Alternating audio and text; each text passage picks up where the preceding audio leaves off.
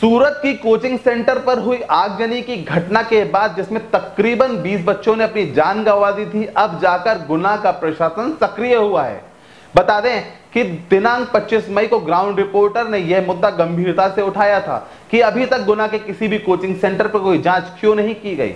इस खबर के प्रसारण के बाद आज जिला प्रशासन विभिन्न कोचिंग सेंटरों पर पहुँचा, जहाँ पर व्यवस्थाओं का अवलोकन किया गया। हालाँकि कई जगह पर प्रशासन को व्यवस्थाओं के नाम पर कुछ भी नहीं मिला। और इसके बावजूद भी खबर लिखे जाने तक किसी भी कोचिंग सेंटर के संचालक को किसी भी तरह का नोटिस दिए जाने की सूचना नहीं है।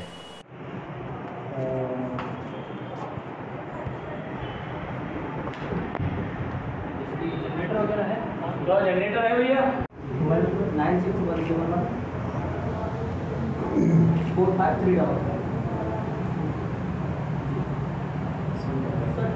बाहर की तरफ़।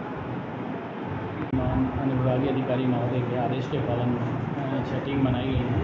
जो विभिन्न गुना शहर में संचालित कोचिंग इंस्टीट्यूट की सेफ्टी प्रकाशन वगैरह की और जो भी इनके जायज़ जो परमिशन वगैरह हैं, उनकी चेकिंग कर रहे हैं। और सेफ्टी प्रकाशन की क्या व्यवस्था है, बिजली व्यवस्था, अगर जैसे भविष्य में कोई घटना घटित होती है, उससे निपटने के लिए क्या व्यवस्थाएँ उन्होंने रखी हैं?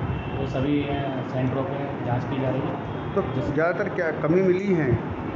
हाँ लगभग कमियाँ तो मिल रही हैं। अभी प्रथम इंस्टीट्यूट चेक किया है। साथ में हमारे यहाँ नगर पालिका का अमला और राजस्व विभाग में हम